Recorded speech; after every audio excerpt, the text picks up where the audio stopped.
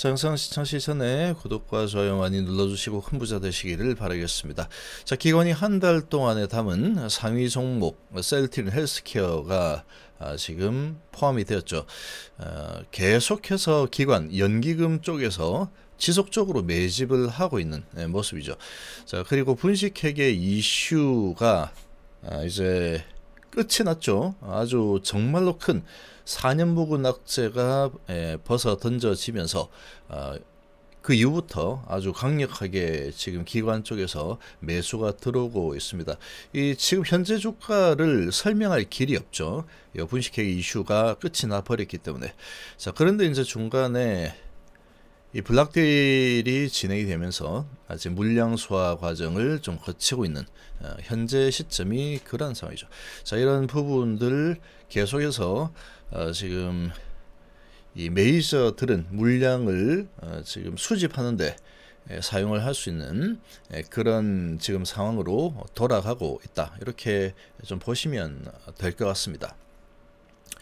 자, 전년비 매출이 26.4%가 증가할 걸로 예상된다. 이런 소식이 나왔는데 한번 보시면 자, 불확실성 해소 셀트리온 불확실성을 정말 4년 동안에 계속해서 어, 끌고 오면서 어, 뭐 조금만 이 좋아지려고 하면은 항상 이제 공격 대상이 됐던 게 분식회계 의혹이라는 부분 가지고 계속해서 공격을 해댔죠.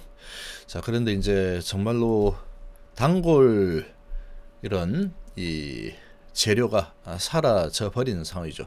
자 그러고 기관 투자자가 한 달 동안에 지금 이 담은 순매수 상위권 바이오 종목의 셀티련하고 어, 셀티련 헬스케어가 지금 딱 포함이 됐죠.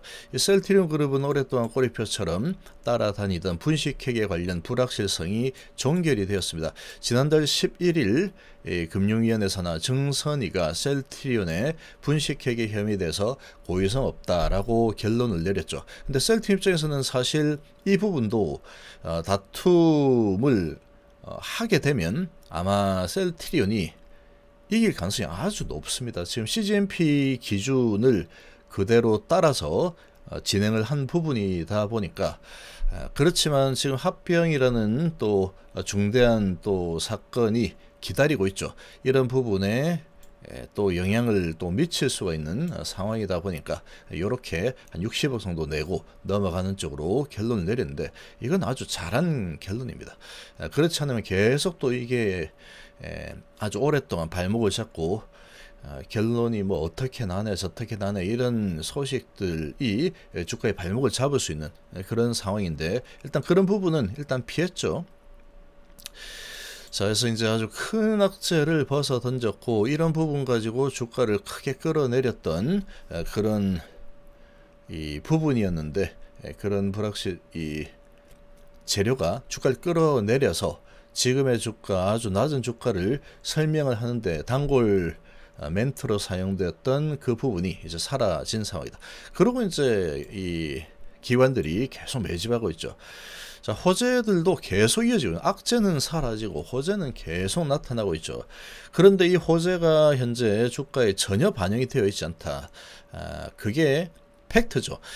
자, 지금 MPP와 화이자의 예, 먹는 코로나 치료제 예, 박스로비드 제네릭 생산을 위한 라이선스인을 획득했죠. 그리고 1월 어, 달에는 MSD의 몰루피라비르 라이선스여서 1월 아, 달에 이제 몰루피라비르 라이선스 그리고 화이자의 박스로비드 둘 다 일단 이 확보를 다 한 유일한 상장사죠. 어, 지금 이렇게 두 현재 나와 있는 코로나 치료제 두 가지를 모두 생산을 하는 그런 기업입니다. 그런 기업이 셀트린이죠. 이거는 뭐 아주 큰 호재입니다. 아주 큰 호재고 아주 오래 걸린다라고 생각할 수도 있겠지만 사실 이 그렇게 오래 걸리지 않습니다. 한 달, 1년 아, 정도, 1년 내에 이제 이 부분은 결판이 나고 내년 정도 되면은 실제로 판매가 진행이 될 예정이죠. 이 코로나가 뭐 1년 만에 이제 사라지면 좋겠지만 그런 일은 일어나지 않죠. 자, 그래서 이 하나투자증권에서는 셀틴 US를 통해서 수출 계약을 맺은 코로나 아, 신속 항원 진단 키트 공급 계약 두 건으로 상반기에 5,758억 매출이 될 걸로 지금 전망을 하고 있습니다. 상반기에만 그 6천억 가까운 매출이 새로 매출이 생기는 거죠. 어, 전년에는 없던 매출이 이제 생기는 상황이다 이렇게 볼 수 있는 거고 그러니까 실적이 올해도 사상 최대 실적이 나올 수밖에 없고 1분기 실적도 아주 강력한 어, 실적이 나올 수밖에 없는 상황이죠.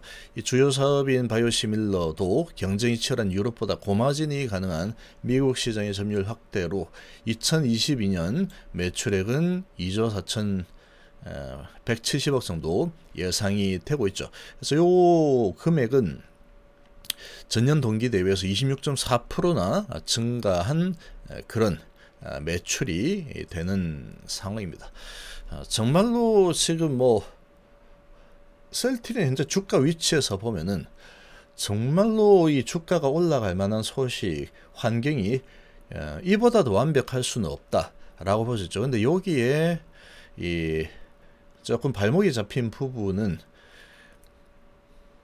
블락들이죠. 이 블락들이 중간에 나오면서 아, 지금 물량 소화 과정을 조금 거치고 있는 상황인데 이 부분은 시간이 지나면 무조건 해결이 되는 그런 부분이죠. 기업의 가치 부분하고는 크게 관계없이 수급적인 요인이다 보니까 아, 지금 그래도 이제 단기적으로는 이 수급적인 요인이 영향을 좀 미칠 수 있기 때문에 이런 물량 소화 과정이 아, 좀 진행이 되고 있다. 근데 이런 물량 소화 과정이 진행이 되는 과정에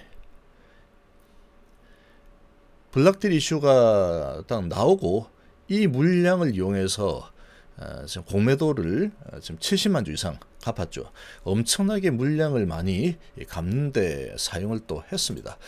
자, 그런 어, 지금 환경이기 때문에 지금 투자하는 관점에서 보면은 이 셀트리온만큼 이 미래를 예측하기가 확실한 기업을 찾아보기도 쉽지가 않습니다.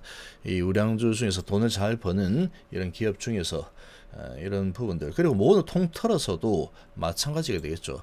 이렇게 성장 예측이 명확한 어, 그런 기업을 찾기는 정말로 쉽지가 않다라는 게 현실입니다. 자, 그리고 이제 앞으로 올해도 그렇지만 내년도까지도 우리는 예측을 좀 해볼 수가 있는 상황이죠. 치료제 삼형제 이제 세상에 나오는 부분 예, 그리고 아바스틴 바이오시밀러가 올 연말쯤 나오는 부분 뭐 이런 부분들 보면은 어, 정말로 강한 흐름이 나올 수밖에 없는 환경입니다. 자 그리고 4월달은 주식 투자 최고의 달이다라고 하죠. 월가 시각은 그런데 잘 모르겠다 그럽니다. 왜 잘 모르겠냐 하니까 앞이 잘 안 보인다 그죠. 지금 뭐 인플레이션에 대한 부분들 그리고 러시아 우크라이나 사태에 대한 부분들 이런 부분들이 여전히 불확실성이 계속 어, 존재를 계속 하다 보니까 어, 큰 변동성을 보일 가능성도 어, 크다 이렇게 지금 전망을 하고 있죠. 증시가 견조한 경제를 기반으로 각종 변수에 잘 적응해 나갈 것이라는 낙관적 기대감도 감지가 되고 있습니다.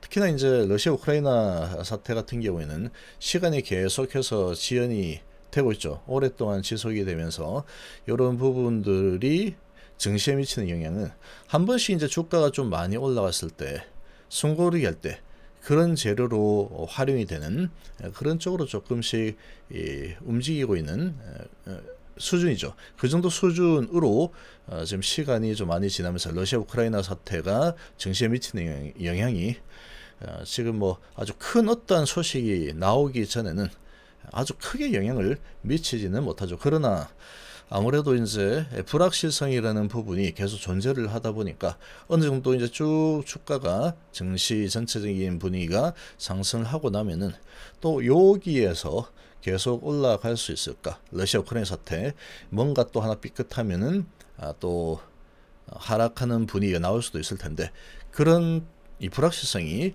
좀 있는 게 계속해서 이제 좀 문제죠. 근데 주식 투자를 하다 보면은 이런 불확실성이 없는 경우가 어, 그렇게 많지가 않습니다, 사실.